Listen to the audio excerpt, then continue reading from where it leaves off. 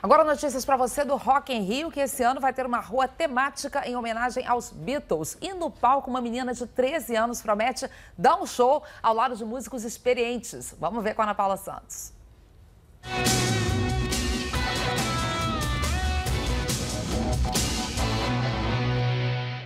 A caminhada até aqui começou aos 4 anos de idade, quando ela ganhou de presente do pai a primeira bateria.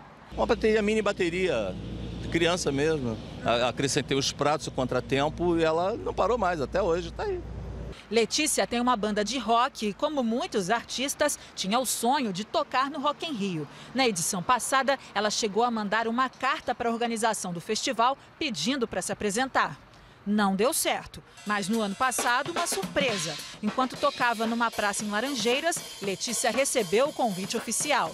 Um dos diretores aqui do Rock in Rio da Rock Street estava lá e quando eu acabei de tocar, ele chamou meu pai para conversar, deu o cartãozinho para ele. No início desse ano, ele entrou em contato e falou que faria o Rock in Rio comigo.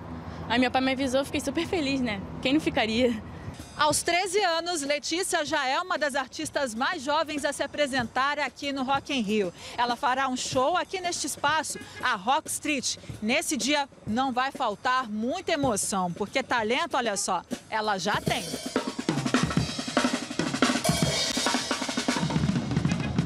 Quem já tem mais experiência também sabe o quanto isso representa. Com 15 anos de estrada, Bacalhau, da banda Autorama, estará aqui pela segunda vez. Ele também é baterista e fará shows no palco Sunset com Benegão.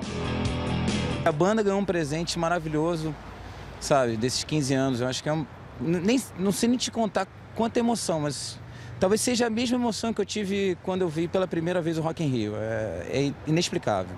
Os encontros de feras da música de todas as idades é só um pouco do que o Rock in Rio promete.